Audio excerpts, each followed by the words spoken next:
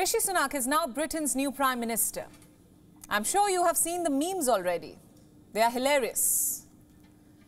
But the situation which Sunak finds himself in is no laughing matter. He inherits a fractured party and a broken economy. He is now the leader of a country that is clearly in decline. There is no doubt that Sunak's rise is historic. We're not denying that. He is Britain's first Prime Minister of Indian origin, the youngest Prime Minister in 200 years, and the first Hindu Prime Minister of the United Kingdom. But if he has to leave a legacy behind, he must confront those daunting challenges. Sunak himself acknowledged the scale of the challenges that he faces. Listen in. Some mistakes were made, not born of ill will or bad intentions. Quite the opposite, in fact. But mistakes nonetheless. And I have been elected as leader of my party and your Prime Minister, in part, to fix them. And that work begins immediately. Some mistakes were made, he said. No prizes for guessing whom he's talking about here. His political rival, Liz Truss. Her mistakes are the reason why Sunak finds himself in 10 Downing Street today in the first place. Truss delivered a farewell speech today. Before leaving, she used the opportunity to defend her rather short tenure and offer some advice to Sunak. Listen in. From my time as Prime Minister, I am more convinced than ever that we need to be bold and confront the challenges that we face. Our country continues to battle through a storm. But I believe in Britain. I believe in the British people. And I know that brighter days lie ahead. Thank you. Truss has stepped down 45 days after taking the job. She resigned on Thursday, just five days back. Within three days, the Conservatives named her successor.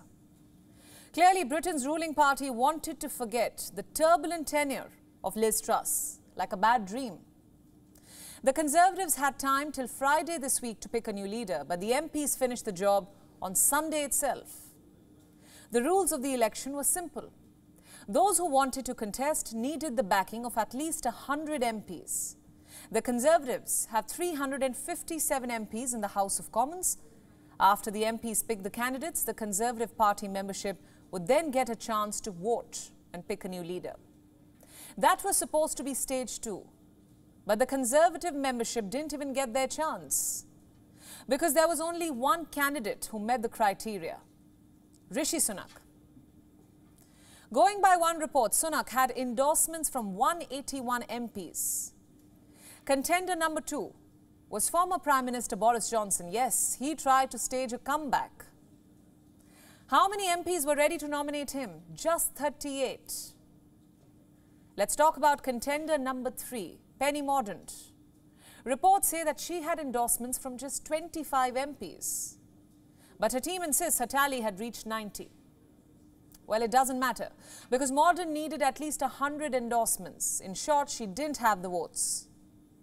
She had to withdraw her name since Sunak was the only candidate eligible to contest which meant an automatic victory for him. I can confirm uh, that we have received one valid nomination.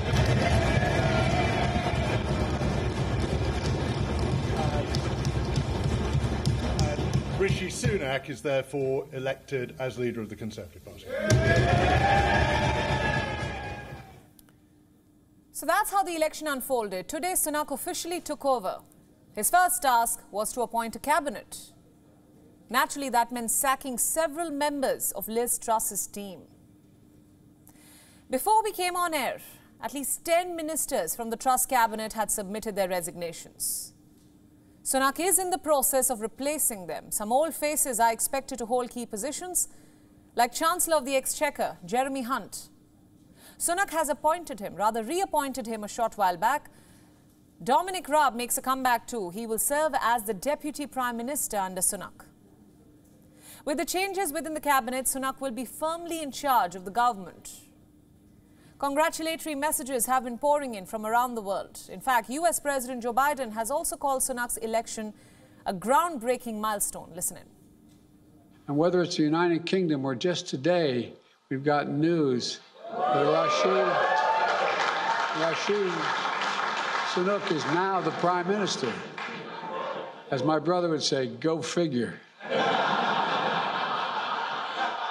and the Conservative Party expected to become the Prime Minister, I think, tomorrow when he goes to see the King. Pretty astounding. A groundbreaking milestone, and it matters. It matters.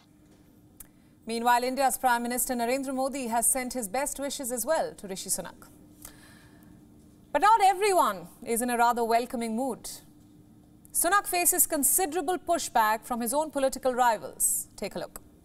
Labour thinks that we should be having a general election. I think everybody who I've spoken to, the public, have said we should be having a general election. There is no mandate now. The Conservatives have completely broken their promises, broke our economy, and now they want to see a general election. They can't just keep doling out prime ministers uh, every month.